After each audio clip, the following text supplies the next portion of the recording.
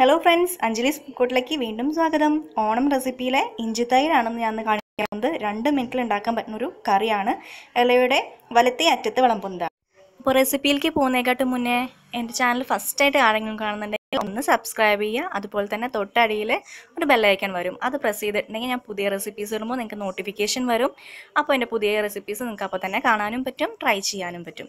അപ്പോൾ പഴയ കൂട്ടുകാർ ഇതുവരെ സപ്പോർട്ട് ചെയ്ത പോലെ ഇനിയും സപ്പോർട്ട് ചെയ്യുക കമന്റ് ചെയ്യുക ലൈക്ക് ചെയ്യുക ഷെയർ ചെയ്യുക.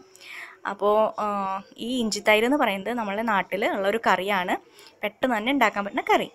ഇഞ്ചിത്തൈര് നമ്മളുടെ ഇലയിൽ മസ്റ്റാണ് അപ്പോൾ വലത്തെ അറ്റത്തായിട്ടാണ് വിളമ്പുക. അതിനാവശ്യമായിട്ടുള്ളത് ഇഞ്ചി കൊത്തി എരിഞ്ഞത് അതുപോലെ ഉപ്പ് ചെറിയ ചൂനമുളക് എന്ന് ഇവിടെ പറയും. കാന്താരി മുളകോ നോർമൽ മുളകോ നമുക്ക് എടുക്കാം. റൗണ്ട് ചെയ്ത് കട്ട് ചെയ്യുക. അതാണ്. സദ്യയിലും ഒക്കെ ഉണ്ടാവാറുണ്ട്. പിന്നെ വേണ്ടത് തൈരാണ്. തൈര് കട്ട തൈരല്ല വേണ്ടത്. കുറച്ച് വെള്ളം ഒഴിച്ച് മിക്സ് ചെയ്യാതെ.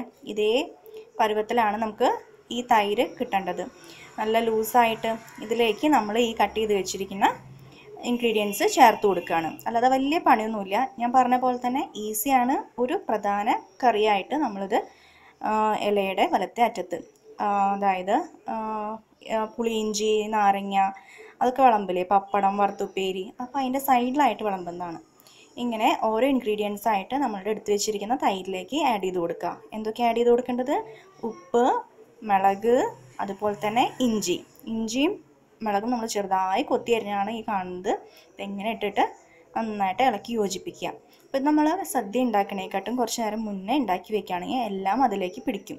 ഇതിന്റെ ഒരു കഥയുണ്ട്. നമ്മളെ വരരുചിയില്ലേ? പറയപ്പെട്ട പന്തിരിക്കുലം. അതിലത്തെ വരരുചിക്ക് ആളുടെ വൈഫ് ഉണ്ടാക്കി കൊടുത്തതാണ്.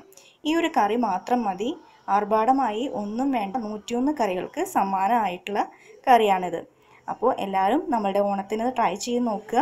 പെട്ടെന്ന് ഉണ്ടാക്കാലോ നമ്മുടെ ഇലയുടെ? അറ്റത്ത് വിളമ്പാവുന്ന കറിയാണിത്. അപ്പോൾ ഈസി ആയിട്ടുള്ള ഇഞ്ചി തൈര് ഇവിടെ റെഡി ആയിട്ടുണ്ട്.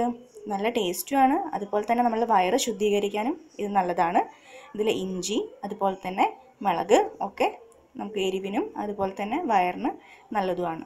അപ്പോൾ എല്ലാവരും ട്രൈ ചെയ്ത് നോക്കുക. ഞാൻ പോട്ടെ പുതിയ റെസിപ്പിയായിട്ട് വീണ്ടും വേഗം വരാം. താങ്ക്